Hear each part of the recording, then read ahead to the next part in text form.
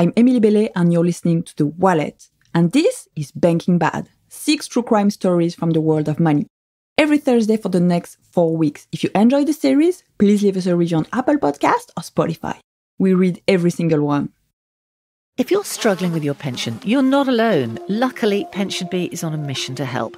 Every month, join me, Philippa Lamb, with a panel of experts on the Pension Confident podcast as we tackle your personal finance questions.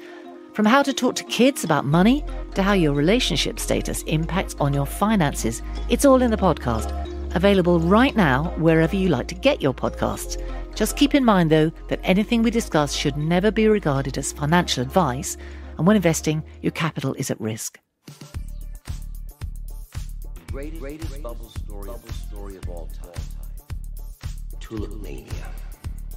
We're used to hearing about stocks, credit, or commodities being at the center of bubbles. Never a flower. But when Anne was at Harvard, My name's Anne Goldgar, she started doing research into the Netherlands. and I am a historian of early modern European cultural history. And she discovered a story about tulips, a strange chapter of Dutch history when a single tulip bulb came to cost as much as a house. It became a story that's quoted time and time again. It's used as a warning when Bitcoin, other cryptocurrencies, or speculative market crazes are discussed. It's even mentioned in movies. This is the greatest bubble story of all time. That's Gordon Gekko, the fictional villain from the movie Wall Street, who became a cultural symbol for greed. Back in the 1600s, the Dutch, they get speculation fever to the point that you could buy a beautiful house on a canal in Amsterdam for the price of one bulb. They called it tulip mania. But he's wrong. This is what really happened. At the start of the 17th century, the Netherlands was prospering. They had recently broken away from Spain and received many refugees from what is now modern day Belgium. These people had big ideas about overseas trade. They had sophisticated taste in art and music. But then Anne made a strange connection. People who were buying art in Amsterdam were generally also buying tulip bulbs and tulips. There's a, a, a very good reason for that, which is that the kinds of tastes that people who bought art had were echoed in an interest in things, generally things that were rare, different, exotic. Usually, the worth of an item would be determined by supply and demand or its intrinsic value, but sometimes an outside factor can come into play that messes with the whole system. In this case, a virus called tulip breaking virus, also known as tulip mosaic virus, swept over the tulip fields. It gradually weakened the bulb with each new generation and caused tulips to have different petal colors effects, such as stripes or flame on an otherwise single color flower. Imagine tulips with petals of red and white stripe that float out like ribbons of peppermint candy. Not knowing this was caused by a virus, Dutch society is fascinated by the novelty. People did want to speed it up if they could, and there were all kinds of ideas about how you could do it, like um, cutting a tulip bulb in half and, and putting ink on it or, or paint or something, and then sticking it back together uh, with the idea that that might uh, change it. But then the word begins to spread. That meant that if there was that there was more demand among those who desired them, and then it's that started to attract attention. And so you already start to see, well, you start to see the prices going up a little bit at the end of the 16th century, but they're still relatively cheap. Wanting to get a piece of the action, new companies start to crop up, saying they'll bankroll tulip growers, and prices begin to climb rapidly. What we see in the 1620s is there starts to be m- more of a fascination with the fact that there are people who are fascinated by by tulips. So people start to talk about it. Um, in 1623, a man in The Hague named David Beck, who kept a diary, um, uh, started to talk. Actually, in very in the very first or second entry in his diary, that which he was keeping after the death of his wife, says you know, there are people who are crazy about tulips. I just don't understand it. Um, in in around the same time, there's a journalist who is writing a quarterly journal mainly about the Thirty Years' War, mainly about foreign policy. But in the midst of it, he starts to say, "Well, actually, the tulip tulip is are really gaining a lot of attention and saying, well, there's somebody in Amsterdam who has bred the most beautiful tulip called the Semper Augustus, which is the one that most people have heard of. But it was a beautiful red and white striped tulip, and he has 12 of them, and he won't sell them to anyone. And so, at the end of the summer of 1636, tulip mania has officially begun. And one of the reasons for that is that there's a plague epidemic occurring.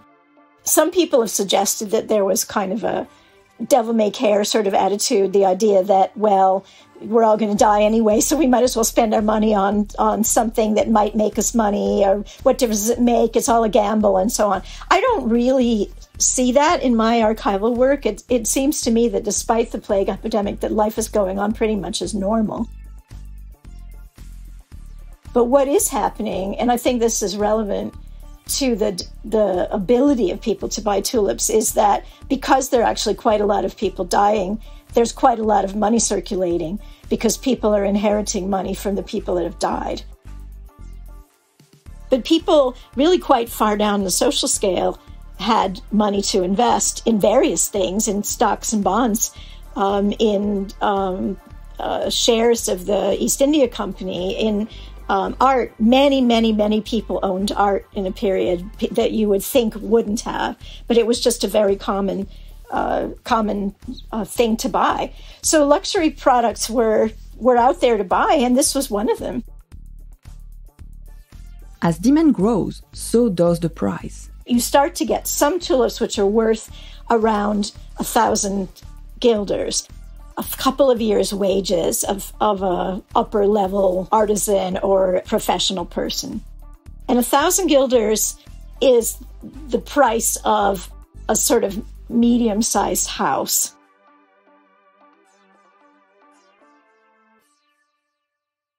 There was a period when people could simply exchange the bulbs by passing them from one person to another. But once you got to the autumn of 1636, it starts to be a different matter because the bulbs are not available to be passed. There was a belief that you had to uh, dig up the tulip bulbs in the summer and then bury them again in the ground in sort of September, October, leave them in the ground throughout the winter and spring. They would then come up, and after they've come up and flowered, then you could dig them up again. The pattern that the trade takes is that you don't have to pay for the item until you receive it. So you make a promise to buy it, um, and you and then and and the price remains the same because you've made an agreement on the price. And what happens in the autumn of 1636 is that people really start to notice what's happening, but the tulips are in the ground, and so people will make an agreement to buy and that's when you start to see the lawsuits happening. And the lawsuits in the autumn of 1636 are all from people who wanted to buy and had made a promise to buy, but the seller has decided to throw that promise away and to sell to somebody else that can pay more. But around the 7th of February 1637, things start to go wrong no one really knows why, but the prices of tulip bulbs crash to nearly a tenth of what they were before. The problem is, people haven't actually paid for the bulbs yet. They had only promised to pay, so sellers are frantic.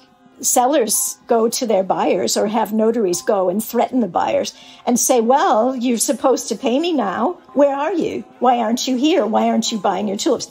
They know, of course, perfectly well why they're not there. And the notaries will go and get an answer. And the answer that they usually got was, I will do as another has done, meaning no one else is paying, so I'm not paying.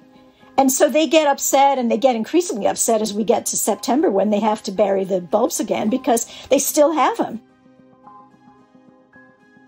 Really, no one actually lost money, and only a few bulbs were as expensive as a house. It's just the sellers were promised a lot of cash who had disgruntled. there's nothing they can really do.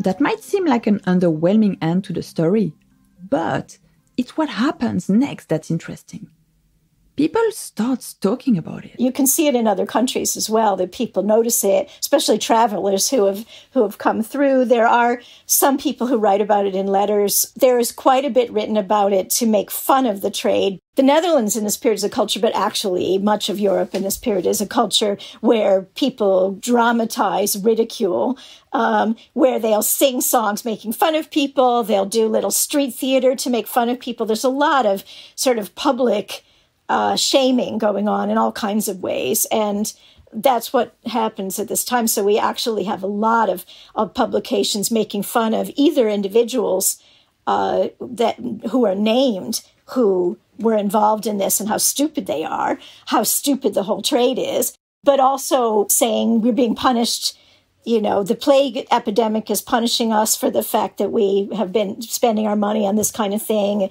You know, lots of things like that, but also, also just saying the wrong people are buying tulips. It ought to only to be rich people who really understand what they're doing we decided to cover this tulip mania because it's still in, in popular culture. When you think about the movie Wall Street with Gordon Gekko, um, you know, it, it's talking about the, the tulip crash. And there's also actually another author, I think, Charles Mackay, who has uh, also popularized the myth of, of tulip mania.